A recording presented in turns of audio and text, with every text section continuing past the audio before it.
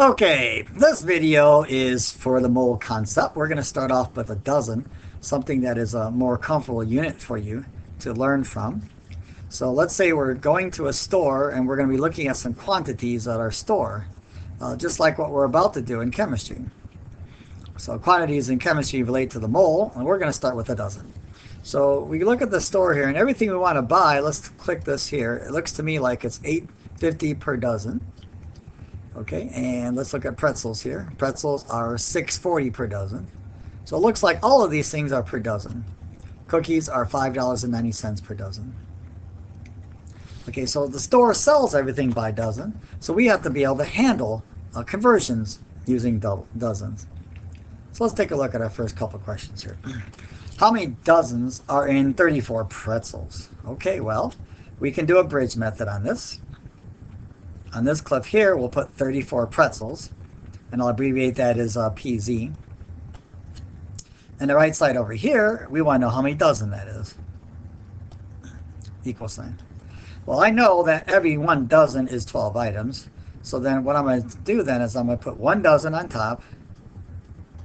And I'll put that over 12 uh, pretzels on the bottom.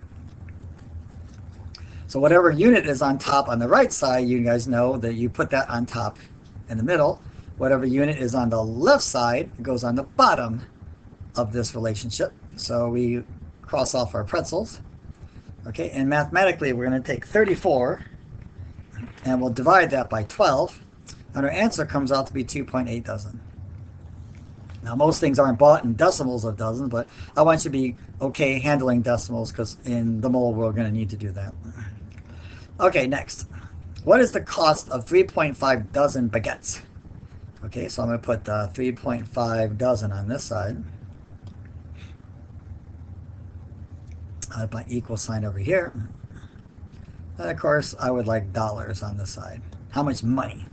Now, it might not be a bad idea to put the baguettes here. I'll do BG here, just so that we remember what we're looking for, okay, when we go to the bakery. Now we're going to have to go to the bakery because we want to talk about cost. It's not just how many items we have. So let's go back to the bakery. And again, what are the price per dozen for baguettes?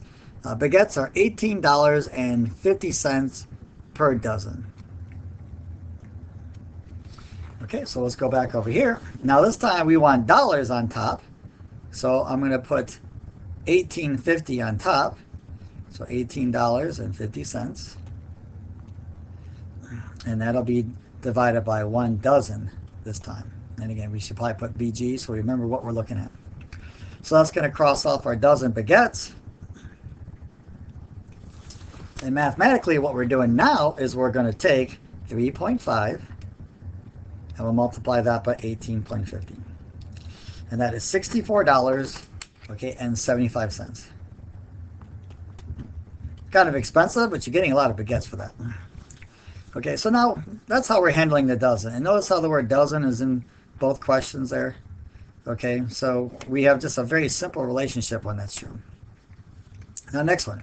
How many cookies can you buy with $10? Okay, let's start our bridge over here. And I'm going to put my value here, so $10. So I'm putting my dollar sign there. And I go over here. I'm going to make this a longer bridge, and there's a reason for that.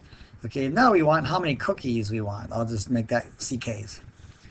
This is going to be a two-step because we don't have a dozen yet. See, there are a dozen in both of these questions here, but the word dozen does not appear. So we're going to need a two-step uh, calculation because we're going to have to convert into dozen first. Okay, in order to figure out this question. Let's see how this works.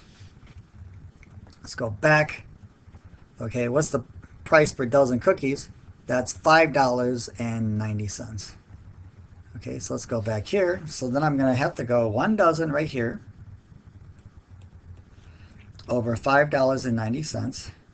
Now what I've done is I've successfully converted dollars into dozen.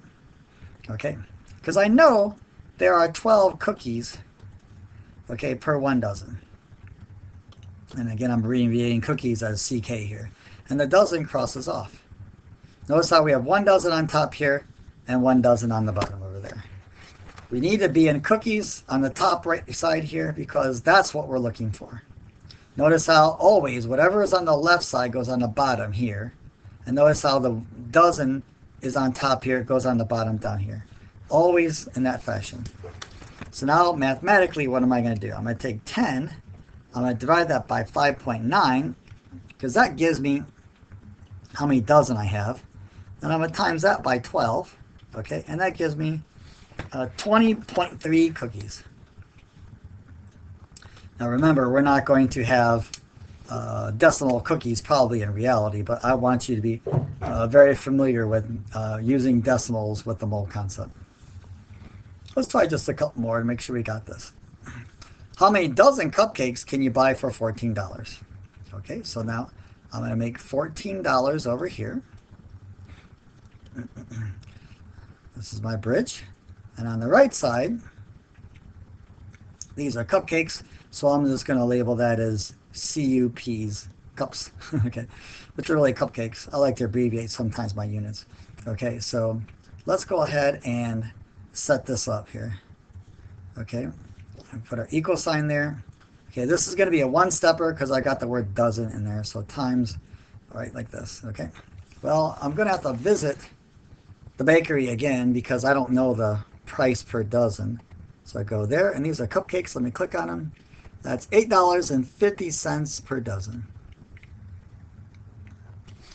Okay, so $8.50 per dozen. So I'm going to put over here, and uh, let's make sure we put dozen here, because that's what we're trying to go through. So I'm going to put does there.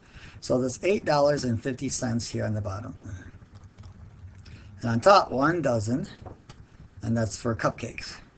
And again, I'm abbreviating as cups. Okay, so dollars cross off. Mathematically, I'm going to take 14 divided by 850. So 14 divided by 850. That gives me a dollar, let's see, 1.65 uh, dozen. 1.65 dozen cupcakes. There you go. All right, and the last question here.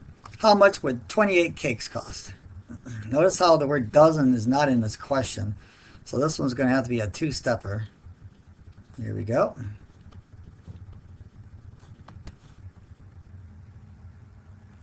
So I'm going to put 28 cakes here. My abbreviation cakes were CK. Okay, and I need dollars on this side here. Okay. All right, so the first step here is I need to convert this into dozen again. Notice how that's a common theme. I must always convert the dozen in order to make my comparison. So one dozen cupcakes, okay, divided by 12 cupcakes. All right, now I have to go to my bakery because I don't know the cost per dozen cupcakes or I think that was cakes. Let's make sure. Okay, uh, yeah, those were cakes. So let me click on cakes here. Cakes is 125 uh, dollars per dozen. It's still kind of cheap. 125 dollars per dozen. So then I'm going to put uh, 125.00 dollars per one dozen cakes. Okay, and that's what we're going to do. Remember the equal sign says, are you in dollars? You say, well, yes, I am. So I'll take 28 divided by 12 and times that by 125.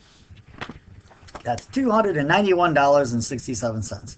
So 291.67. Okay? And that's the problem solving, okay, with the mole. Uh, the next video I'm going to create is going to be actually dealing with moles. And you're going to see that the comparison of problem solving is very, very, very, very similar.